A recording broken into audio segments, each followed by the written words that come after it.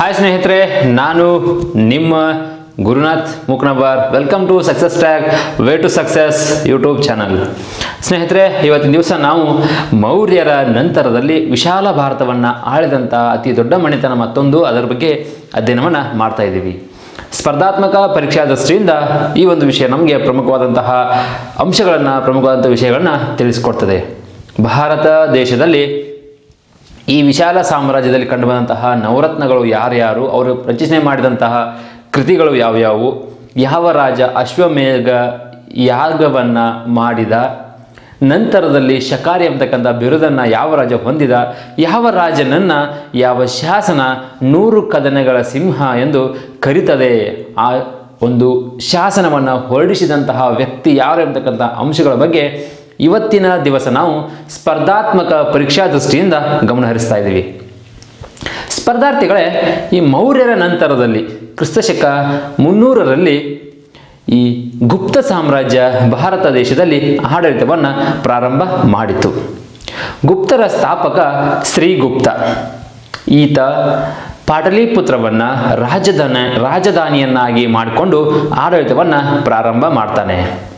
ಈತ ಮೃಗಶಿಖವನ ಎಂಬತಕ್ಕಂಥದ್ದನ್ನು ನಿರ್ಮಾಣ ಮಾಡಿಸಿದ. ಮೃಗಶಿಖ ಎಂಬತಕ್ಕಂಥ ವನವನ್ನು ಅಥವಾ ಒಂದು ಉದ್ಯಾನವನವನ್ನು ಈ ಶ್ರೀಗುಪ್ತ ನಿರ್ಮಾಣ ಮಾಡ್ತಾನೆ. ಈತನ ನಂತರ ಈತನ ಮಗ ಒಂದನೆಯ ಚಂದ್ರಗುಪ್ತ ಆಡಳಿತಕ್ಕೆ ಬರ್ತಾನೆ. ಈತ ಕ್ರಿಸ್ತಶಕ ಮೂರ್ನೂರ ಇಪ್ಪತ್ತರಿಂದ ಮೂರ್ನೂರ ಮೂವತ್ತ ಐದರವರೆಗೆ ಆಡಳಿತವನ್ನು ಮಾಡಿದ. ಈ ಒಂದನೇ ಚಂದ್ರಗುಪ್ತ, ಲಿಚ್ಚವಿಯ ವಂಶದ ರಾಜಕುಮಾರಿಯಾಗಿರ್ತಕ್ಕಂಥ ಕುಮಾರದೇವಿಯನ್ನ ವಿವಾಹವಾಗ್ತಾನೆ. ಅವಳನ್ನು ಮದುವೆ ಆಗ್ತಾನೆ. ಅವಳ ಸೈನ್ಯವನ್ನು ತನ್ನ ಸಹಾಯಕ್ಕೆ ಪಡೆದುಕೊಳ್ತಾನೆ. ಅವಳ ಸೈನ್ಯದ ಅವಳ ಸೈನ್ಯದ ಜೊತೆಗೆ ಈ ಇತರ ರಾಜ್ಯಗಳ ಮೇಲೆ ದಾಳಿಯನ್ನು ಮಾಡಿ ಸಾಮ್ರಾಜ್ಯದ ವಿಸ್ತರಣೆಯನ್ನು ಮಾಡ್ತಾನೆ ಒಂದನೆಯ ಚಂದ್ರಗುಪ್ತ.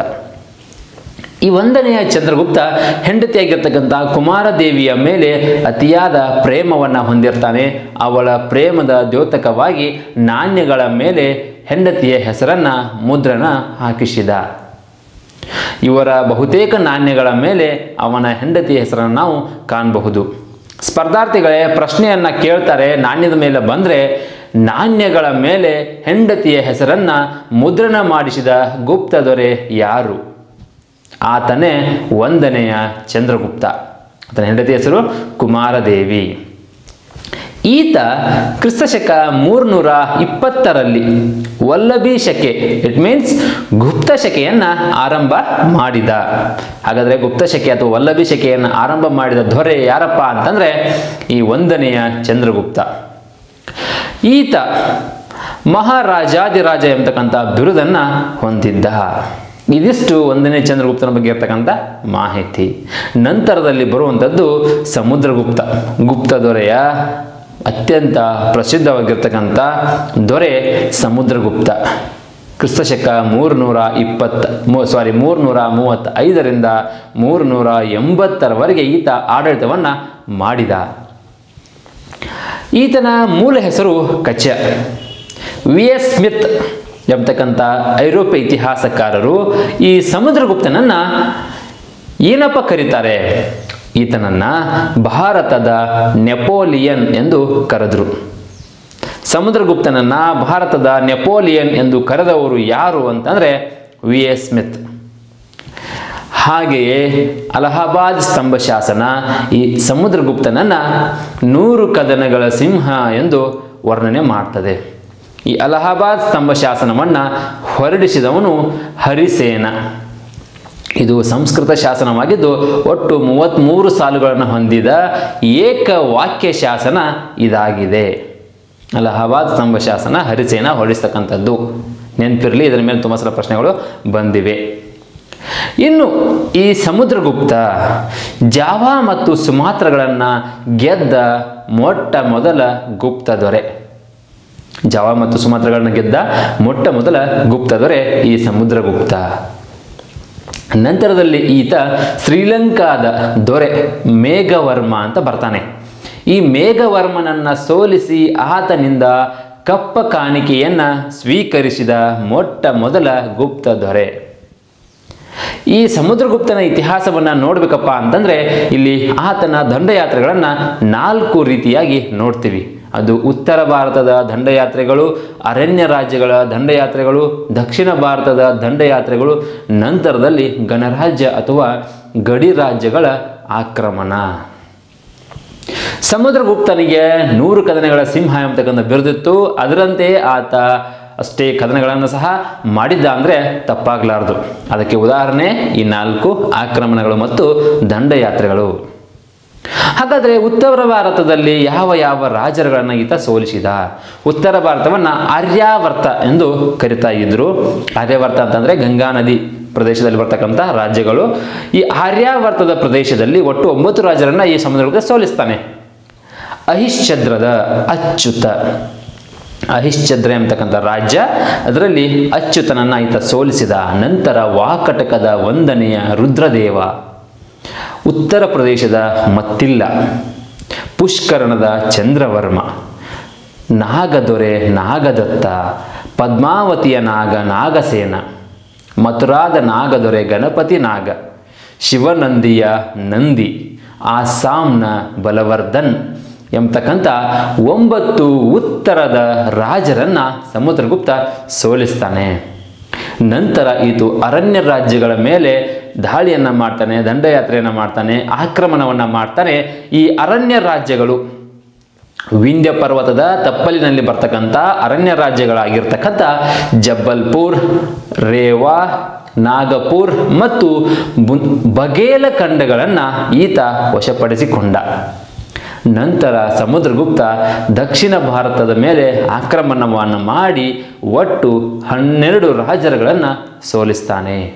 ಹಾಗಾದರೆ ಆ ಹನ್ನೆರಡು ರಾಜರುಗಳು ಯಾರ್ಯಾರು ಹನ್ನೆರಡು ರಾಜರಲ್ಲಿ ಬರ್ತಕ್ಕಂಥವರು ವೆಂಗಿ, ಕಂಚಿ, ಅವಮುಕ್ತ ಎರಾಂಡಪಲ್ಲಿ ಕೊಟ್ಟೂರು, ಕೌರಾಲ ಈ ರೀತಿಯಾಗಿ ಬರ್ತದೆ. ಹಾಗಾದರೆ ಕೋಸಲದ, ಕೋಸಲ ಅಂತಕ್ಕಂಥ ರಾಜ ಕೋಸಲದ ಮಹೇಂದ್ರನನ್ನ ಈತ ಸೋಲಿಸಿದ. ಮಹಾಕಾಂತಾರದ ವ್ಯಾಘ್ರ ರಾಜನನ್ನ ಸಮುದ್ರಗುಪ್ತ ಸೋಲಿಸ್ತಾನೆ. ಕೌರಾಲದ ಕೌರಾಲದ ಮಂಟರಾಜನನ್ನ ಈತ ಸೋಲಿಸ್ತಾನೆ. ದೇವರಾಷ್ಟ್ರದ ಕುಬೇರ, ಫಲಕ್ಕಾದ ಉಗ್ರಸೇನ, ಕಂಚಿಯ ವಿಷ್ಣುಗೋಪ, ಕಂಚಿಯ ಚೋಳರ ವಿಷ್ಣುಗೋಪ, ಯರಾಂಡಪಲ್ಲಿಯ ಧಮನ, ಕೊಟ್ಟೂರಿನ ಸ್ವಾಮಿದತ್ತ, ಪಿಸ್ತಪುರದ ಮಹೇಂದ್ರ. ನಂತರ ಕೌರಾಲದ ಮಂಟರಾಜ, ಕುಸ್ತಲಾಪುರದ ಧನಂಜಯ. ಈ ರೀತಿಯಾಗಿ ಒಟ್ಟು ಈತ ಹನ್ನೆರಡು ದಕ್ಷಿಣದ ರಾಜರುಗಳನ್ನು ಸೋಲಿಸಿದ. ಇದಾದ ನಂತರ ಈತ ಗಡಿ ರಾಜ್ಯ ಅಥವಾ ಗಣರಾಜ್ಯಗಳ ಮೇಲೆ ಆಕ್ರಮಣವನ್ನು ಮಾಡ್ತಾನೆ ಸಮುದ್ರಗುಪ್ತ. ಅಲ್ಲಿ ಆಸಾಂನ ಕಾಮರೂಪವನ್ನು ವಶಪಡಿಸಿಕೊಳ್ತಾನೆ, ಬಂಗಾಳದ ಸಮತಟವನ್ನು ವಶಪಡಿಸಿಕೊಳ್ತಾನೆ, ಹಾಗೆಯೇ ಪಂಜಾಬಿನ ಕರ್ತೀಪುರ ಮತ್ತು ರೋಹಿಲಖಂಡವನ್ನು ವಶಪಡಿಸಿಕೊಳ್ತಾನೆ. ಈ ಎಲ್ಲ ದಂಡಯಾತ್ರೆಗಳನ್ನು ಮುಗಿಸಿದಂತಹ ಸಮುದ್ರಗುಪ್ತ ಅಶ್ವಮೇಧ ಯಾಗವನ್ನು ಕೈಗೊಳ್ತಾನೆ. ಹಾಗೆಯೇ ಅಶ್ವಮೇಧ ಯಾಗ ಪರಾಕ್ರಮಿ ಎಂಬತಕ್ಕಂಥ ಬಿರುದನ್ನು ಸಹ ಈ ಸಮುದ್ರಗುಪ್ತ ಹೊಂದಿದ. ಸಮುದ್ರಗುಪ್ತ ಹೇಗೆ ಕಲಿಯಾಗಿದ್ನೋ ಅದೇ ರೀತಿ ಕವಿ ಸಹ ಹೌದು. ಈತನಿಗೆ ಕವಿರಾಜ ಎಂಬತಕ್ಕಂಥ ಬಿರುದು ಇತ್ತು. ಈತ ಸಂಸ್ಕೃತದಲ್ಲಿ ಕೃಷ್ಣ ಚರಿತೆ ಎಂಬತಕ್ಕಂಥ ಕೃತಿಯನ್ನೂ ಸಹ ರಚನೆ ಮಾಡಿದ್ದಾನೆ. ಇದಿಷ್ಟು ಸಮುದ್ರಗುಪ್ತನ ಬಗ್ಗೆ ಬರ್ತಕ್ಕಂಥ ಮಾಹಿತಿ, ಆತನ ದಂಡಯಾತ್ರೆಗಳ ಬಗ್ಗೆ ಇರ್ತಕ್ಕಂಥ ಒಂದು ಸಂಕ್ಷಿಪ್ತ ವಿವರಣೆ. ಆತನ ನಂತರ ಬಂದವ ಮತ್ತೊಬ್ಬ ಗುಪ್ತ ದೊರೆ ಮತ್ತೊಬ್ಬ ಪ್ರಸಿದ್ಧ ಗುಪ್ತ ದೊರೆ ಆತನೇ ಎರಡನೆಯ ಚಂದ್ರಗುಪ್ತ. ಈತ ಮೂರ್ನೂರ ಎಂಬತ್ತರಿಂದ ನಾನ್ನೂರ ಹದಿನಾಲ್ಕರವರೆಗೆ ಗುಪ್ತ ಸಾಮ್ರಾಜ್ಯದ ಆಡಳಿತವನ್ನು ಮಾಡಿ ಗುಪ್ತ ಸಾಮ್ರಾಜ್ಯವನ್ನು ವಿಸ್ತರಣೆ ಮಾಡ್ತಾನೆ. ಶಕರ ಒಂದನೆಯ ರುದ್ರಸಿಂಹನನ್ನು ಎದುರಿಸ್ತಾನೆ, ಆತನನ್ನು ಸೋಲಿಸ್ತಾನೆ, ಆತನನ್ನು ಮನಿಸಿದಂತಹ ಎರಡನೆಯ ಚಂದ್ರಗುಪ್ತ ಶಕಾರಿ ಎಂಬತಕ್ಕಂಥ ಬಿರುದನ್ನು ಹೊಂದಿದ. ಈತನಿಗೆ ಹಾಗೆಯೇ ವಿಕ್ರಮಾದಿತ್ಯ ಮತ್ತು ಸಾಹಸಾಂಕ ಎಂಬತಕ್ಕಂತಹ ಬಿರುದುಗಳು ಸಹ ಇದ್ವು. ಈತನ ಸಾಧನೆಯ ಬಗ್ಗೆ ಮೆಹರುಲಿ ಸ್ತಂಭ ಶಾಸನ ವಿವರಣೆಯನ್ನ ನೀಡ್ತದೆ. ಈ ಎರಡನೆಯ ಚಂದ್ರಗುಪ್ತನಿಗೆ ದೇವಶ್ರೀ ಮತ್ತು ದೇವಗುಪ್ತ ಎಂಬತಕ್ಕಂಥ ಉಪನಾಮಗಳು ಸಹ ಇದ್ವು.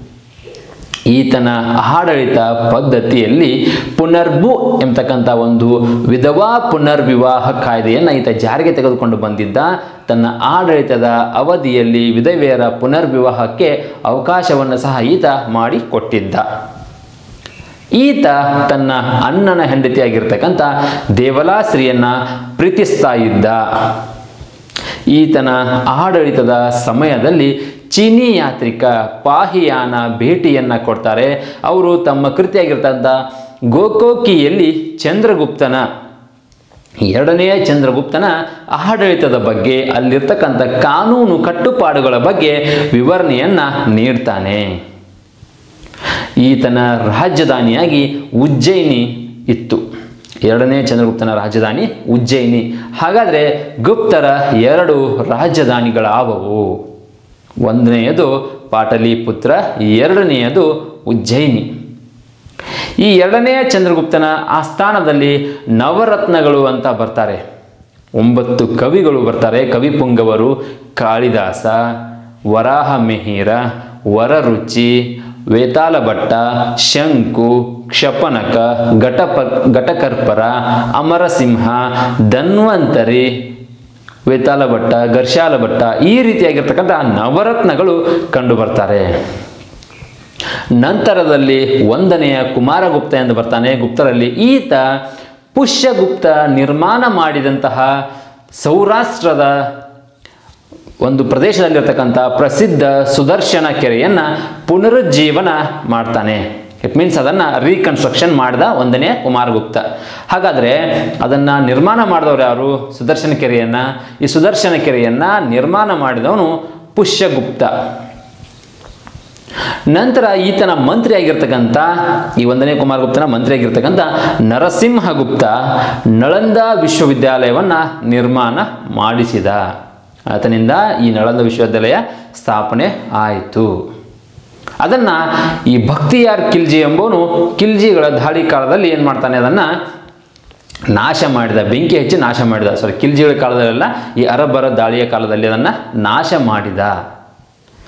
ಗುಪ್ತರ ಕೊನೆಯ ದೊರೆ ವಿಷ್ಣುಗುಪ್ತ ಗುಪ್ತರ ಕೊನೆಯ ದೊರೆ ವಿಷ್ಣುಗುಪ್ತ ಇದಿಷ್ಟು ಗುಪ್ತರ ಕಾಲದಲ್ಲಿ ಬರ್ತಕ್ಕಂಥ ರಾಜರ ಬಗ್ಗೆ ಇರತಕ್ಕಂಥ ಮಾಹಿತಿ.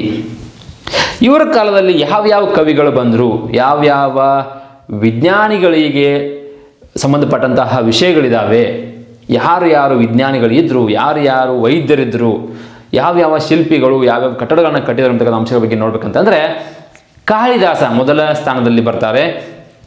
ಕಾಳಿದಾಸನನ್ನು ಭಾರತದ ಶೇಕ್ಸ್ಪಿಯರ್ ಎಂದು ಕರೀತಾರೆ. ಹಾಗೆಯೇ ಈತನಿಗೆ ಕವಿಕುಲ ಗುರು ಮತ್ತು ಕವಿರತ್ನ ಎಂಬತಕ್ಕಂಥ ಬಿರುದುಗಳು ಸಹ ಇದ್ವು. ಕವಿರತ್ನ ಕಾಳಿದಾಸ. ಈತ ಅಭಿಜ್ಞಾನ ಶಾಕುಂತಲ ಮಾಳವಿಕಾಗ್ನಿ ಮಿತ್ರ ಹಾಗೂ ವಿಕ್ರಮೋರ್ವಶಿಯ ಎಂಬತಕ್ಕಂಥ ಮೂರು ನಾಟಕಗಳನ್ನು ಬರೀತಾರೆ. ರಘುವಂಶ ಮತ್ತು ಕುಮಾರ ಸಂಭವ ಎಂಬತಕ್ಕಂಥ ಎರಡು ಮಹಾಕಾವ್ಯಗಳನ್ನು ಬರೆದರು. ಹಾಗೆಯೇ ಮೇಘದೂತ ಮತ್ತು ಋತು ಸಂಹಾರ ಎಂಬತಕ್ಕಂಥ ಎರಡು ಗೀತಾ ಕಾವ್ಯಗಳನ್ನು ಸಹ ಬರೆದರು. ತುಂಬ ಸಲ ಪ್ರಶ್ನೆಯನ್ನು ಕೇಳಿದ್ದಾರೆ ಸ್ನೇಹಿತರೆ. ಈ ಕೆಳಕಂಡಂತಹ ಆಪ್ಷನ್ಗಳಲ್ಲಿ ಕಾಳಿದಾಸನ ಮಹಾಕಾವ್ಯ ಯಾವುದು? ಇರೋದು ಎರಡು, ಮಹಾಕಾವ್ಯ, ರಘುವಂಶ ಮತ್ತು ಕುಮಾರ ಸಂಭವ ನಾಟಕ ಅಂತ ಪರ್ಟಿಕ್ಯುಲರ್ ಆಗಿ ಕೇಳಿದ್ದಾರೆ. ನಾಟಕಗಳಲ್ಲಿ ಅಭಿಜ್ಞಾನ ಶಾಕುಂತಲ, ಮಾಳವಿಕಾಗ್ನಿ ಮಿತ್ರ ಹಾಗೂ ವಿಕ್ರಮೋರ್ವಶಿಯ. ಗೀತಾ ಕಾವ್ಯಗಳು ಅಂತ ಬಂದರೆ ಮೇಘದೂತ ಮತ್ತು ಋತು ಸಂಹಾರ ಭಾಸ ಎಂತಕ್ಕಂಥ ಕವಿ ಬರ್ತಾನೆ, ಈತನ ಹದಿಮೂರು ಕೃತಿಗಳು ನಮಗೆ ಲಭ್ಯವಿದ್ದಾವೆ ಅವುಗಳಲ್ಲಿ ದೂತವಾಕ್ಯ, ಕಾರು ಆಪಾರು ಚಾರುದತ್ತ ಪ್ರತಿಜ್ಞಾ ಪ್ರಮುಖವಾಗಿರ್ತಕ್ಕಂಥ ಕೃತಿಗಳು. ಭಾರವಿ ನಮ್ಗೆಲ್ರಿಗೂ ಗೊತ್ತೇ ಇದೆ. ಭಾರವಿಯ ಕಿರಾತಾರ್ಜನೀಯ ವರಾಹ ಮಿಹಿರ ವರಾಹ ಮಿಹಿರನ ಬೃಹತ್ ಜಾತಕ, ಬೃಹತ್ ಸಂಹಿತೆ, ಪಂಚಶದ್ದಾಂತ. ಭಾರತದ ಜ್ಯೋತಿಷ್ಶಾಸ್ತ್ರದ ಪಿತಾಮಹ ಎಂದು ಸಹ ಇವರನ್ನ ಕರೀತಾರೆ. ಶೂದ್ರಕ, ಶೂದ್ರಕನ ಮೃಷ್ಕಟಿಕ. ದಂಡಿ ಅಂತ ಬರ್ತಾರೆ. ದಂಡಿಯ ಕಾವ್ಯಾದರ್ಶ ದಶಕುಮಾರ ಚರಿತೆ. ಧನ್ವಂತರಿ, ಆಯುರ್ವೇದದ ಪಿತಾಮಹ ಧನ್ವಂತರಿ ಆಯುರ್ವೇದ ನಿಘಂಟು ಎಂಬತಕ್ಕಂಥ ಕೃತಿಯನ್ನು ಬರೀತಾರೆ. ಅಮರಸಿಂಹನ ಅಮರಕೋಶ ಇಟ್ ಮೀನ್ಸ್ ಎನ್ಸೈಕ್ಲೋಪೀಡಿಯಾ ಅಂತ ನಾವೇನು ಕರಿತೀವಿ? ಅಮರಸಿಂಹ ಅವರು ಆವಾಗಿನ ಕಾಲದಲ್ಲಿ ಬರೆದಿದ್ರು. ಅಮರಸಿಂಹನ ಅಮರಕೋಶ ವಾಗ್ಭಟನ ಅಷ್ಟಾಂಗ ಸಂಗ್ರಹ. ವಾಗ್ಭಟನ ಅಷ್ಟಾಂಗ ಸಂಗ್ರಹ. ನಂತರ ಬ್ರಹ್ಮಗುಪ್ತ. ಬ್ರಹ್ಮಗುಪ್ತನನ್ನ ಈ ಭಾರತದ ನ್ಯೂಟನ್ ಎಂದು ಕರೀತಾರೆ. ನ್ಯೂಟನ್ನ ಕಾಲ ನೋಡ್ರಿ, ಬ್ರಹ್ಮಗುಪ್ತರವ್ರ ಕಾಲವನ್ನು ನೋಡ್ರಿ. ನಮ್ಮ ಜನ ಕ್ರಿಸ್ತ ಶಕದ ಕಾಲದಲ್ಲಿ ಇದ್ದವರು ಇತ್ತೀಚಿನ ಹೊಸ ಕಾಲದಲ್ಲಿ ಬಂದಂಥವ್ರ ನಾವ ಭಾರತದ ನ್ಯೂಟನ್ ಅಂತ ನಾವು ಆಗಿನ ಕಾಲವನ್ನು ಕರಿತೀವಿ. ಆ್ಯಕ್ಚುಲಿ ನ್ಯೂಟನನ್ನು ಐರೋಪ್ಯದ ಬ್ರಹ್ಮಗುಪ್ತ ಅಂತ ಕರಿಬೇಕಾಗಿತ್ತು. ವಿಪರ್ಯಾಸ ಆ ರೀತಿ ಆಗಿದೆ. ಈ ಬ್ರಹ್ಮಗುಪ್ತ ಶೂನ್ಯ ಬೆಲೆಯನ್ನು ಮಂಡನೆ ಮಾಡ್ತಾರೆ. ಶೂನ್ಯ ಬೆಲೆ ಸಿದ್ಧಾಂತವನ್ನು ಪ್ರತಿಪಾದನೆ ಮಾಡಿದವರು ನಮ್ಮ ಭಾರತದ ಬ್ರಹ್ಮಗುಪ್ತ ಅವರು. ಇವರನ್ನು ಭಾರತದ ನ್ಯೂಟನ್ ಎಂದು ಕರೀತಾರೆ. ಇವರು ಬ್ರಹ್ಮಸ್ಮೃತಿ ಸಿದ್ಧಾಂತವನ್ನು ಬರೀತಾರೆ. ಬ್ರಹ್ಮಸ್ಮೃತಿ ಸಿದ್ಧಾಂತವನ್ನು ಬರೀತಾರೆ. ಆರ್ಯಭಟ, ಆರ್ಯಭಟಿಯ ಎಂಬತಕ್ಕಂಥ ಕೃತಿಯನ್ನು ಬರೀತಾರೆ. ಹಾಗೆಯೇ ಈ ಸೂರ್ಯ ಸಿದ್ಧಾಂತವನ್ನು ಮಂಡನೆ ಮಾಡಿದವರು. ವಿಷ್ಣು ಶರ್ಮನ ಪಂಚತಂತ್ರ. ವಿಷ್ಣು ಶರ್ಮನ ಪಂಚತಂತ್ರ. ಬೈಬಲನ್ನು ಬಿಟ್ಟರೆ ಅತಿ ಹೆಚ್ಚು ಭಾಷೆಗಳಿಗೆ ತರ್ಜುಮೆಗೊಂಡು ಪ್ರಕಟಣೆಗೊಂಡಿರ್ತಕ್ಕಂಥ ಕೃತಿಗಳಲ್ಲಿ ಈ ಎರಡನೇ ಸ್ಥಾನದಲ್ಲಿ ಇರೋದೇ ವಿಷ್ಣು ಶರ್ಮನ ಪಂಚತಂತ್ರ. ಇದು ಕಾರ್ಟೂನ್ ಚಿತ್ರಗಳಿಂದ ಇವತ್ತು ನಾವು ನೋಡ್ತಾ ಇದ್ದೀವಿ. ಇದರಲ್ಲಿ ಒಂದು ನರಿ ಬರ್ತದೆ. ಆ ನರಿಯ ಪಾತ್ರದ ಹೆಸರು ದಮನಕ.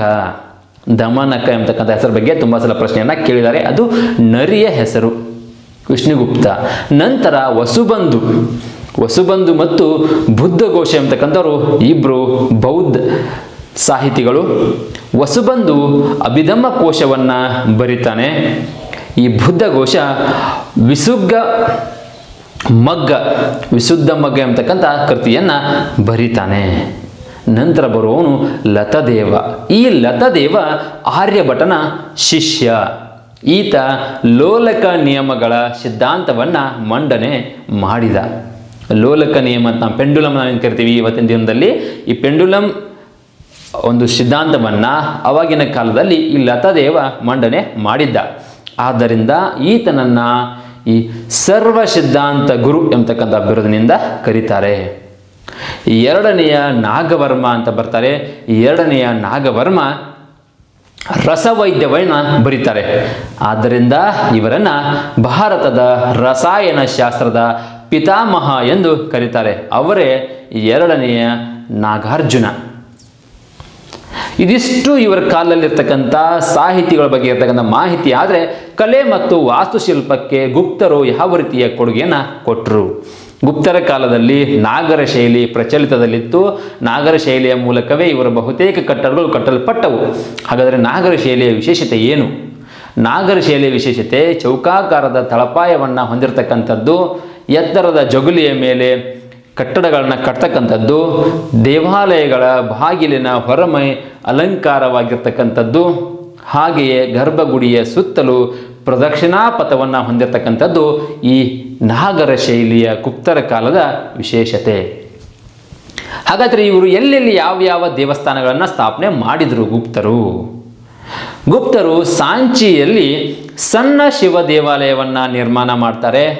ಭೂಮರಾದಲ್ಲಿ ಶಿವಪಾರ್ವತಿಯ ದೇವಾಲಯವನ್ನು ನಿರ್ಮಾಣ ಮಾಡಿದರು.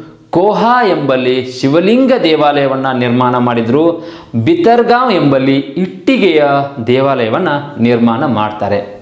ಟಯೋಗರ್ ಎಂಬಲ್ಲಿ ದಶಾವತಾರದ ದೇವಾಲಯವನ್ನು ನಾವು ಕಾಣಬಹುದು. ಇವರ ಕಾಲದ ಮತ್ತೊಂದು ಪ್ರಸಿದ್ಧತೆ ಏನಪ್ಪಾ ಅಂತಂದರೆ ಅಜಂತಾ ಗುಹಾಲಯಗಳು. ಅಜಂತಾದಲ್ಲಿ ಇಪ್ಪತ್ತೊಂಬತ್ತು ಗುಹೆಗಳಿದ್ದರೆ ಅದರಲ್ಲಿ ಒಂದರಿಂದ ಹದಿನೆಂಟು ಗುಹೆಗಳು ಈ ಗುಪ್ತರಿಗೆ ಸಂಬಂಧಪಟ್ಟಿರ್ತಕ್ಕಂಥವು. ಅಲ್ಲಿ ಪದ್ಮಪಾನಿ ಮತ್ತು ಬೋಧಿಸತ್ವದ ಚಿತ್ರಗಳು ಈ ಗುಪ್ತರ ಕಾಲದ್ದು, ಇವುಗಳು ತುಂಬ ಪ್ರಸಿದ್ಧಿಯನ್ನು ಪಡೆದಿವೆ. ಇವರ ಸಮಕಾಲಿನಲ್ಲಿ ಬಂದಂಥದ್ದೇ ಯರಾನ್ ಶಾಸನ. ಯರಾನ್ ಶಾಸನದ ವಿಶೇಷತೆ ಏನಪ್ಪ ಅಂತಂದರೆ, ಭಾರತದ ಸತಿ ಸಹಗಮನ ಪದ್ಧತಿಯ ಬಗ್ಗೆ ಮಾಹಿತಿ ನೀಡ್ತಕ್ಕಂಥ ಮೊಟ್ಟ ಮೊದಲ ಶಾಸನ ಹಾಗೂ ಭಾರತ ದೇಶದ ಮೊಟ್ಟ ಮೊದಲ ಸತಿ ಅರುಂಧತಿ. ಇದೆಲ್ಲದರ ಬಗ್ಗೆ ಮಾಹಿತಿ ನೀಡುವುದೇ ಯರಾನ್ ಶಾಸನ. ಅದು ಗುಪ್ತರ ಕಾಲದಲ್ಲಿ ಬಂದಂತಹ ಒಂದು ಪ್ರಮುಖವಾಗಿರ್ತಕ್ಕಂಥ ಶಾಸನ. ಇವರ ಕಾಲದಲ್ಲಿ ಮತ್ತೊಂದು ಬರ್ತದೆ, ಸುಲ್ತಾನ್ ಗಂಜ್ನ ಏಳೂವರೆ ಅಡಿ ಇರತಕ್ಕಂಥ ಎತ್ತರದ ಬುದ್ಧನ ವಿಗ್ರಹ. ಸುಲ್ತಾನ್ ಗಂಜ್ನಲ್ಲಿರ್ತಕ್ಕಂಥದ ಏಳೂವರೆ, ಏಳು ಸೆವೆನ್ ಪಾಯಿಂಟ್ ಫೈವ್ ಫೀಟ್ ಅಡಿ ಇರ್ತಕ್ಕಂಥ ಬುದ್ಧನ ವಿಗ್ರಹ ಇತ್ತು. ಅದು ಇವತ್ತಿಗೆ ಬರ್ಮಿಂಗ್ ಹ್ಯಾಮ್ ಮ್ಯೂಸಿಯಂನಲ್ಲಿ ಸಂಗ್ರಹವಾಗಿದೆ. ಬರ್ಮಿಂಗ್ಹ್ಯಾಮ್ ವಸ್ತು ಸಂಗ್ರಹಾಲಯದಲ್ಲಿ ಇವತ್ತು ನಾವು ಆ ಸುಲ್ತಾನ್ ಗಂಜ್ನ ಸೆವೆನ್ ಪಾಯಿಂಟ್ ಫೈವ್ ಫೀಟ್ ಬುದ್ಧನ ವಿಗ್ರಹವನ್ನು ಕಾಣಬಹುದು. ಸ್ನೇಹಿತರೆ, ಇದೆಲ್ಲವೂ ಗುಪ್ತರ ಕಾಲದಲ್ಲಿ ಬಂದಂತಹ ಮಾಹಿತಿ. ಸ್ಪರ್ಧಾತ್ಮಕ ಪರೀಕ್ಷಾ ದೃಷ್ಟಿಯಿಂದ ನೋಡುವುದಾದರೆ ಕವಿಗಳ ಮೇಲೆ ಪ್ರಶ್ನೆಗಳು ಅತಿ ಹೆಚ್ಚು ಬಾರಿ ಬಂದಿದ್ದನ್ನು ನಾವು ಕಾಣಬಹುದು.